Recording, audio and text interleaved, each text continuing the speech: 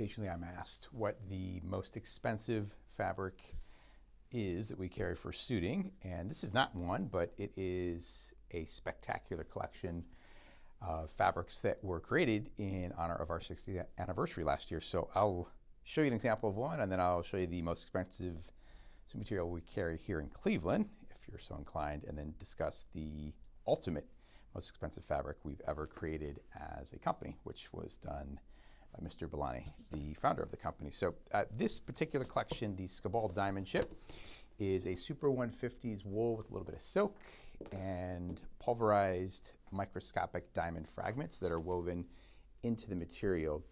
Uh, if you were to invest in a suit like this, I would suggest going with a textured salad, and I'll show you why here in a second. The lighting just catches the material. It's already a very fine wool that's going to have a natural sheen to it, but of course the diamond dust that's woven throughout the fabric is pretty awesome as well.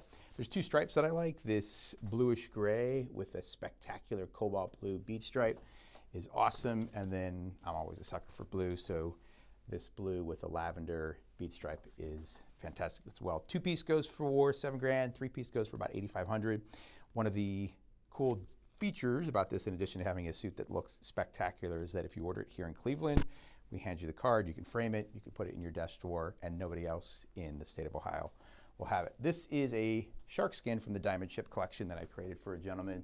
It's a three piece. He's getting married in Ireland, and you can see just a standard gray shark skin has a luster, has a sheen, has a distinctive look to it that is spectacular as I like to say, nobody needs a suit that has diamond fragments woven into it, but if you can afford it and you want something that's truly unique, this is a cool piece. Here in Cleveland, the most expensive fabric we carry is a Super 200s wool. So there's no silk, there's no diamonds woven into it. It's just the ultra fine fibers that go into the fabric. It's made by Loro Piana, which is the world's number one purchaser of wool and cashmere. They're definitely associated with luxury branding.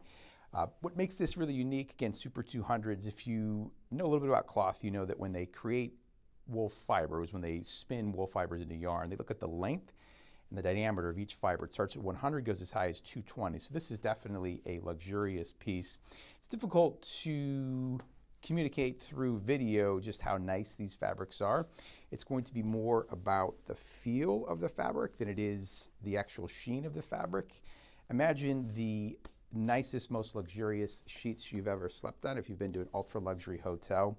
And that's what these suit materials are going to feel like. Again, just spectacular. Uh, two piece suit for the Super 200s from Loro Piana is going to run about nine grand, three piece a little over 10. As far as our trivia, what's the most expensive fabric we've ever created in here at Balani?